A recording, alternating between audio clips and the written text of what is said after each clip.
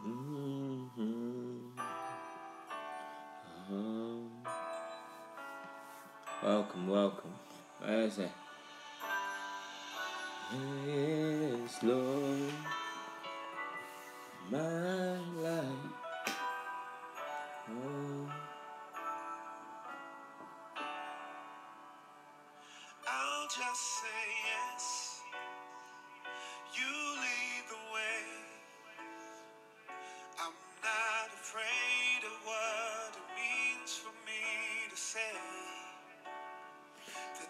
life you gave is not my own. I'm trusting you to hear my yes and lead me on. Yes, Lord. Yes, Lord.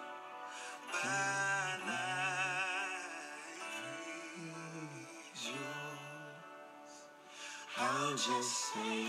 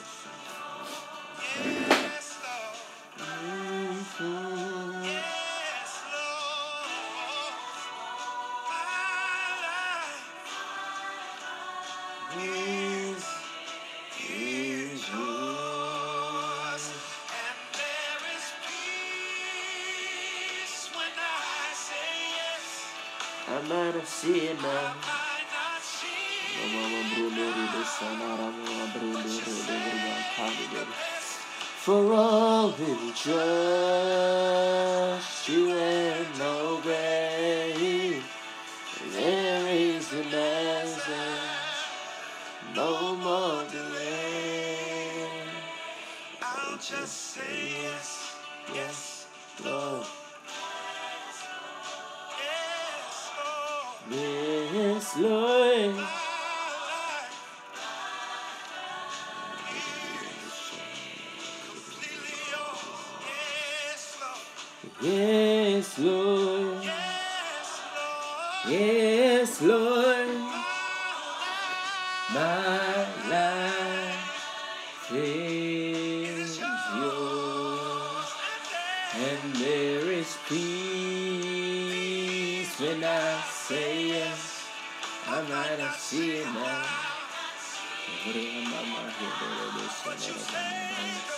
all the best for all futures. You ain't no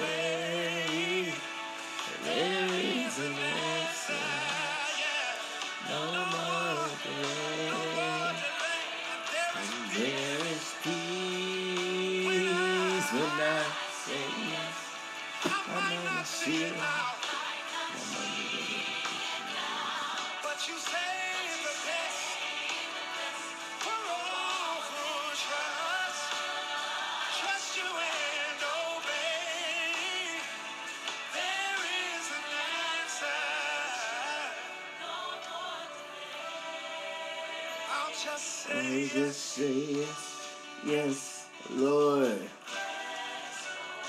Yes, Lord. My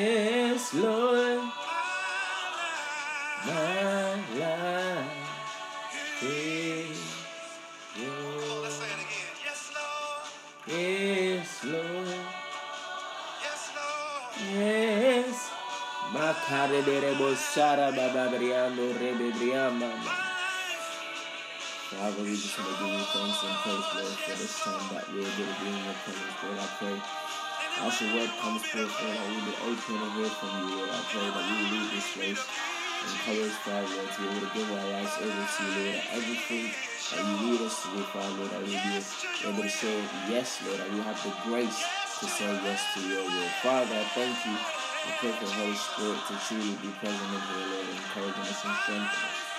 Pray that all that we do glorify the name of our Lord and Savior Jesus Christ. In the name of Jesus, I pray. Oh, my life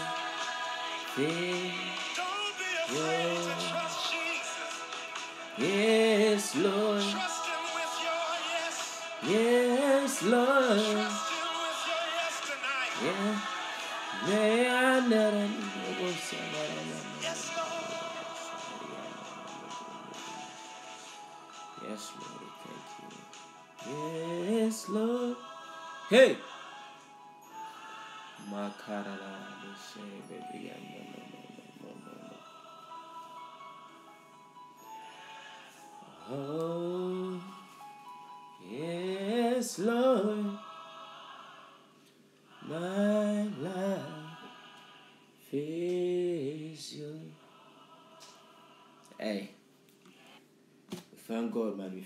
for this time that we're able to be together. I'm gonna share a quick message. Um, so obviously we finished the series that we were going through, facing fear, and so today I want to share a quick message from uh, my personal Bible study. So I'm going through the book of Matthew. Um, so today I want to share something from Matthew uh, chapter 19, verse 16 um, to 22. Says, And behold, a man came to him saying, a man, a man came to Jesus saying, Teacher, what good deed must I do to have eternal life? And Jesus said to him, Why do you ask me about what is good? There is only one who is good, and if you would enter life, keep the commandments. Uh, then th- this man said to Jesus, Which ones? Jesus said, You shall not murder, you shall not commit adultery, you shall not steal, you shall not bear false witness, honor your father and mother, and you shall love your neighbor as yourself. And the young man said to Jesus, All these I have kept. What do I still lack? And Jesus said to him, If you would be perfect, go sell what you possess and give to the poor, and you will have treasure in heaven, and come follow me. When a young man heard this, he went away sorrowful, for he had great possessions. And here's somebody who's come to Christ, here's somebody who's come to God, and they're like, God, what do I need to do to, you know, get eternal life? What do I need to do? So this man comes to God. This one this man comes to Jesus and obviously he's looking for something, he's yearning for some answers to some questions that he he has. Um, now here is a man who, you know, he he he he, he says in here that he's he's just being faithful to obeying all the commandments of God. You know, he's not stealing, he's not uh, covetous, he's not bearing false witness. You know, he's not doing these things. Um, and Jesus tells him, okay, you know, if you really want to, you know, take the bat out of the piece, because it's almost like Jesus is saying, yeah, when things are good, when things are good, good, sometimes it's not, it's, it's, it's much, let me sort this out. When things are good, good, sometimes it's much easier to, to obey the commands of God. Do you know what I mean? So you're rich, so you don't necessarily have a need to steal. You know, you're you're rich, so you don't necessarily have to have the need to almost tell on somebody. You're rich, so you know you you got these resources, and so you don't necessarily have a, a need to do some of these things which are sinful, and so you may be following the commandments of God to an extent. Do you know what I mean? We know that the Bible says that all have sinned. And so at the end of the day, it's still going to be prideful to say that you are perfect. Do you know what I mean? But Jesus says for you to be perfect, for you to be almost above reproach, this is what you need to do. Is to go and sell all your material possessions. You know, those things that, you know, because of those things you have a sense of security. Because of those things, you know what? you, you, feel a little bit like you know what? You, you feel safer. You're able to do certain things because of this security that you have back in you. Jesus is saying you know what? It's gonna cost you that security in order to follow me. He says go sell all you have give to the poor and then come and follow me. And this man went away sorrowful for he had many things he had loads of things he was rich and you know when christmas um and I read this and I thought it would be very good to share something from it because you know Christmas, as many of us know and as many of us think about, is a season of giving. And so, you know, many people go out, they, they go out their way to buy things and gifts for their family members and all these things that do happen. You know, I just exchanged um, some gifts with, you know, uh, my sisters and all these things that, you know, we do because it's a season for giving. And obviously, we do recognize and remember that uh, the greatest gift ever given to mankind, the gift of Christ. You know, we, we, we adore and we celebrate during Christmas as well. Um, and one of the things he says, you know what, sell what you want and give as a gift. Sell what you want and give to the poor. You know, giving, giving costs us. You know, sometimes, well, to be honest, I probably shouldn't be saying this out loud. I'm not sure who's watching or who's listening. Um, but I've had a lot of I have a lot of um, gifts like perfume gifts. If you're a guy, you, you probably know what I'm talking about. Like everybody wants to get you perfume, and everybody wants to get you some some eau de toilette, like some you know everybody wants to get you those sort of things. Um, and I'm like, yo, like I don't even, I don't even use these things, bro. Like all I need is some deodorant, and I'm good. Like I don't, I'm not really that, you know, that that's not really. But every year, every birthday, every time, know, people are giving you left, right, center, and you're like, yo, these things are getting mad. You know, like why is it like my, my, my older sister just pops into my room now. She's like, oh yeah, here's your gift, and it was wrapped up and it was the, the shape of a rectangular, you know, cuboidal shape, and I thought, oh Lord, not another, not another perfume. Open it up, surely, surely, you did voila.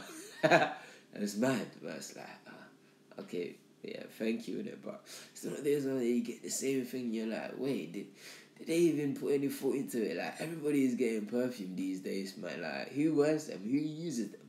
It's almost like the perfume industry has become um, an industry where people just buy them as gifts for men who never use them.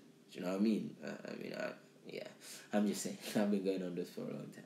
But it's one of those things where, you know, people give gifts and sometimes they sacrifice, sometimes they go through certain things to be able to give you that gift. And sometimes you see it, man. You know, the, this woman gave me a gift tonight. Um, uh, she's the woman who actually done my hair. So she's my auntie. Um, she gave my, my, my sister a gift to bring me at home. And it was a nice, like, it's a nice shirt, man, from Zara. It was a beautiful thing, man. And I'm thinking, yeah, that's something useful, you know, that's something I could really, you know, get into, man. Like, some nice Zara thing, bro. Um, but it's just one of those ones. And so here is a man. He's got loads of things. He's got money. He's got cars. You know, not necessarily cars, but he's got a lot of possession. Um, and Jesus saying, you know what, give these things away. I know they're gonna cost you, but for you to be able to follow me, you're gonna have to let these things go. Let these things go. Now he walked away sorrowful. I do not want this to be our testimony tonight. We do, I, I, I don't want us to walk, you know, that you know our Christian life is just full of us hearing from God and not being able to obey because we're thinking, oh yeah, the cost is too great, or we're thinking, yeah, the price to pay, oh Lord, yeah, this is this is too much. This is not something I can handle. You know, I, I do not wish for our Christian walks to be this way. Um, today, let me just read some of the devotional content uh, really quickly. It says Matthew 19, 16, 22 describes Jesus' meeting with a man that we call the rich young ruler. Um, you know, it says he, he was a ruler, um, probably a synagogue official, you know, somebody who really knew the Torah, he knew, you know, the, the commandments of God, he knew about all these things. Um, says before encountering Christ, the man had evidently done some soul searching, since he wants to know what will give him eternal life. Later on, the young the rich young ruler admits to following the commandments, and so his question reveals that he's looking for assurance beyond God's revealed will.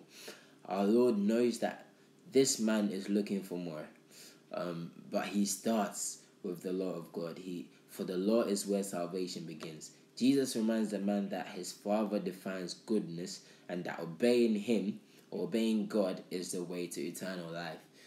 Um, yeah, Jesus is not teaching that we're able to obey God perfectly and merit redemption.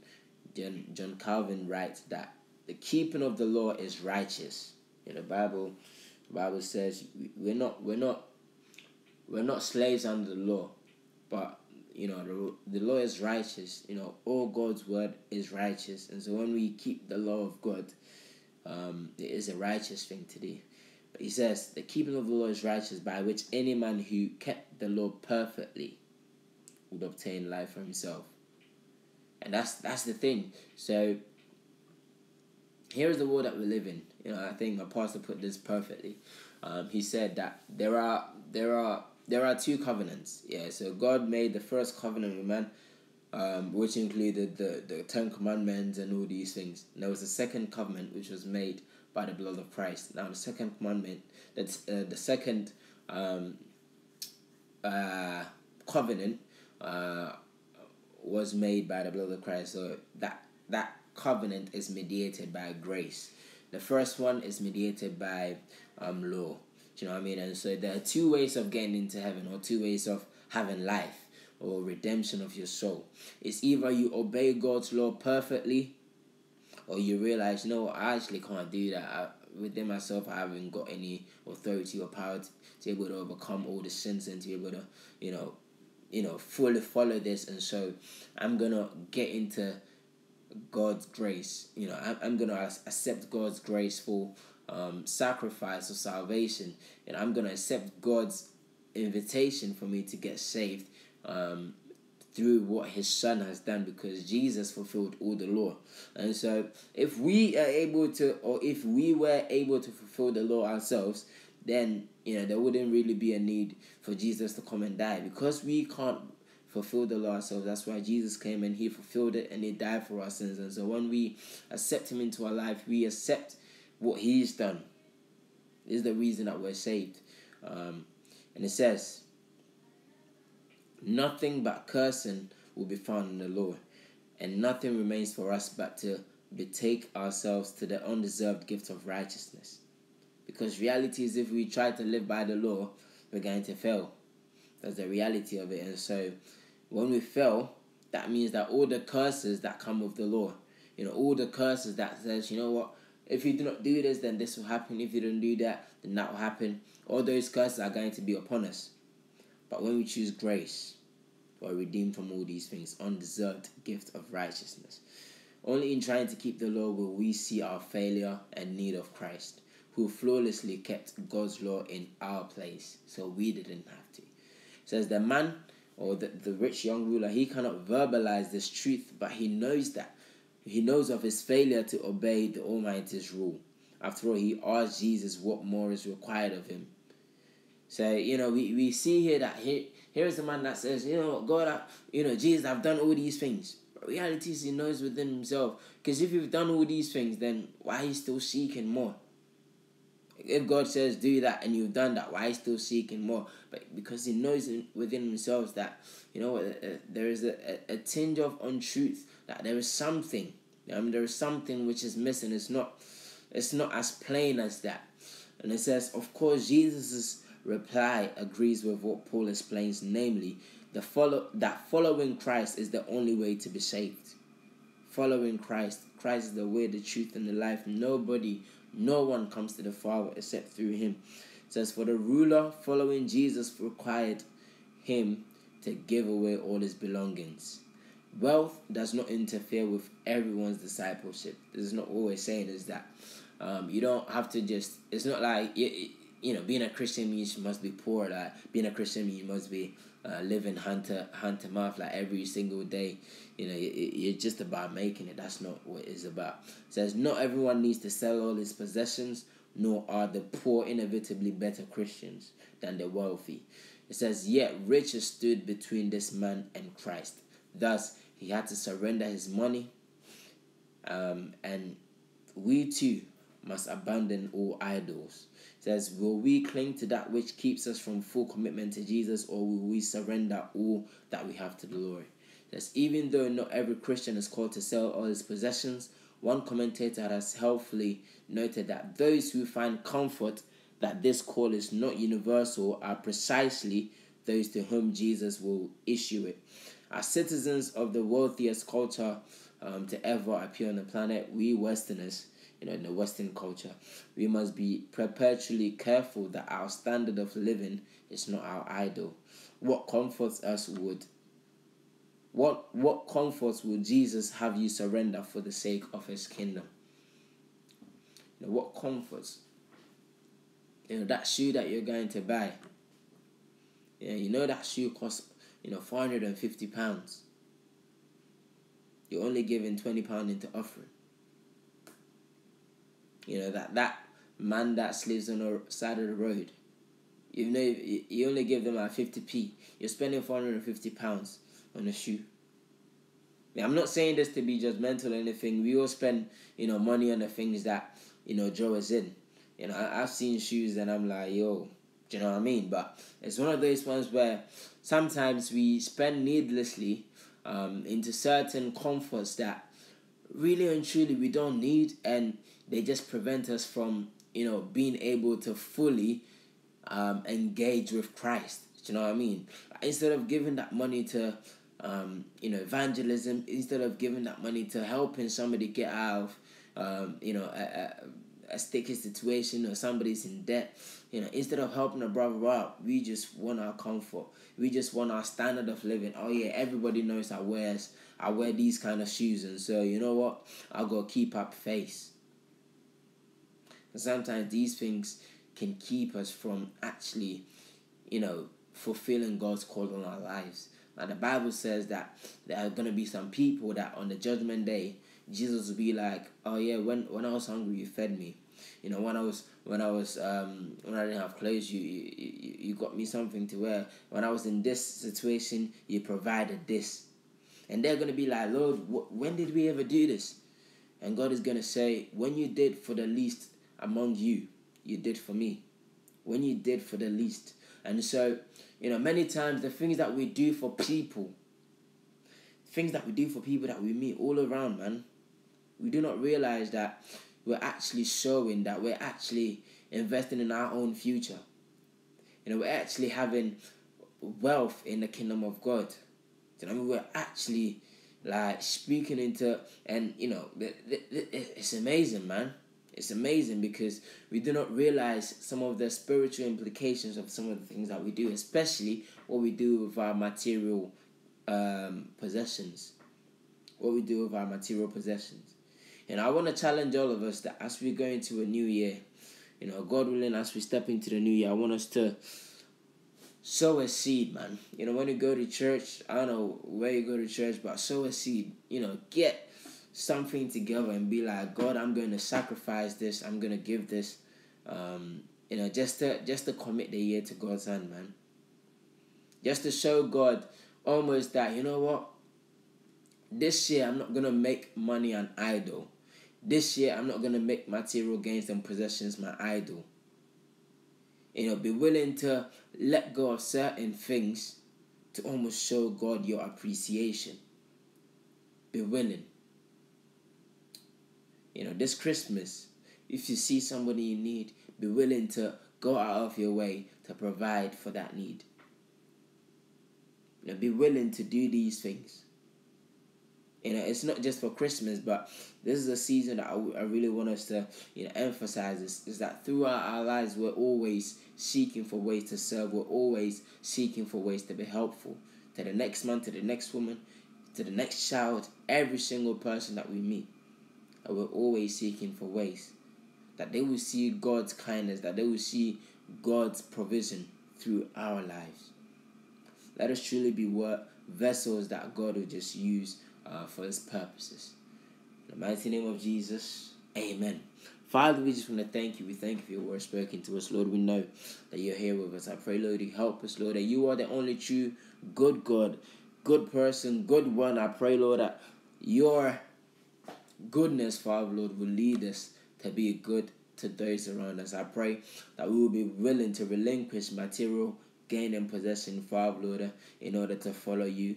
Lord Jesus, that we'll be able to relinquish the things that we hold dear to us, Lord Father, that we will not make them idols over you, but Lord, we allow you to have full and total control, Lord, that you will truly be briama mama robo rebo mama. Mama kerederiama sene rebe briama mama. That you reign over everything and every decision that we make. I pray your Holy Spirit guides and lead us, Lord, in the things that we do. And I pray your, your kingdom is always glorified in our lives. In the mighty name of Jesus, I pray. Amen. Yo, Jamal, it's not a new series, but I wanted to share um, something from um, my personal devotion. Um, I think I'm actually gonna share from my personal devotion until we get to the end of year, God willing, and then entering into the new year, we'll start a new series. And so let's pray for that.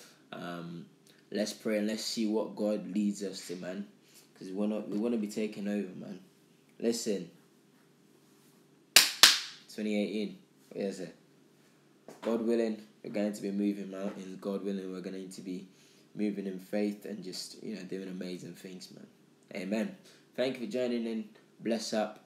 Um, and I'll see you guys tomorrow, God willing.